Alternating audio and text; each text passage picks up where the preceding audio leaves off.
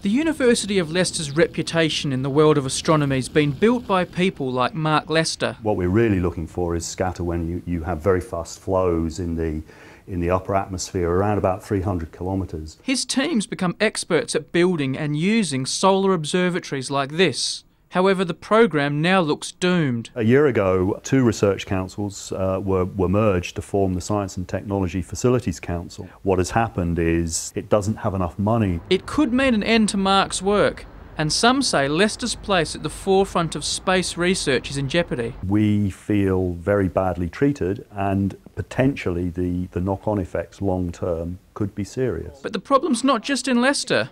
Alfonso works at the University of Nottingham. This is one of my targets. This is this this galaxy up here. He was recently granted four nights to use this telescope in Hawaii.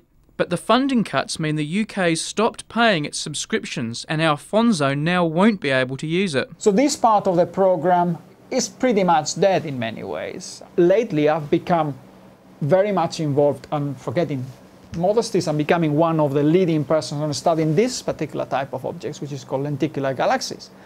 Um, I may lose that edge internationally. But the universities say it's more than just reputations at stake. Postdoctoral researchers, who are the people who really do, spend their time 100% doing research, there will just be less of them. Fundamentally, the, the, we have less money to pay them, so we can only employ fewer of them. And it's not just jobs, it could mean fewer students. We're in the process now of interviewing candidates for next year, for places at university next year. And one question which is coming up now quite regularly is they're asking, should I really be getting into a physics-based subject? You know, they've heard all these stories in the news about how the government's cutting its funding for, for science and that physics and astronomy are getting less money.